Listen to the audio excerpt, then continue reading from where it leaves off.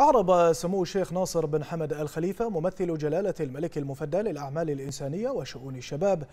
عن سعادته لما حققه سمو الشيخ عيسى بن عبد الله بن حمد الخليفة من نتيجة متميزة وتتويج فريق 2 Seas Motorsport بالمركز الأول في بطولة الخليج 12 ساعة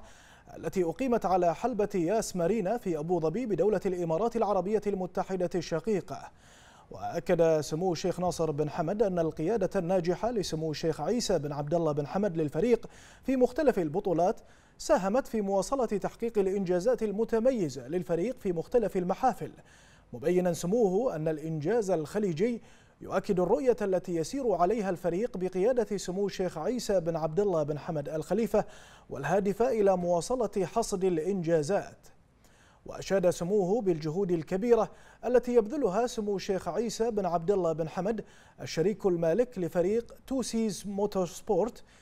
في سبيل مواصلة حصد الإنجازات للمملكة في المحافل الخارجية وتأكيد تطور وازدهار الرياضة البحرينية خصوصا في رياضة السيارات متمنيا سموه للفريق دوام التوفيق والنجاح.